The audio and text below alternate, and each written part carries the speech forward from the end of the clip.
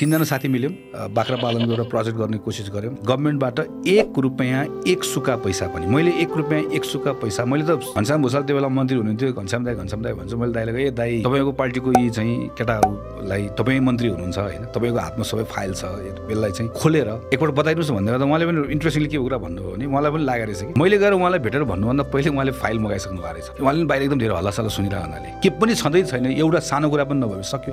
अनि मैले जिस्काएर भने तपाईँलाई मनमा चाहिँ कतै कतै चाहिँ लागेको रहेछ दाइ तपाईँले म आउनुभन्दा पहिले फाइल पल्टाएर हेर्नुभयो भने चाहिँ मनमा चाहिँ लागेको रहेछ भने त्यो चाहिँ लागेको थियो भनेर यतिकै रमाइलो कन्भर्सेसनमा।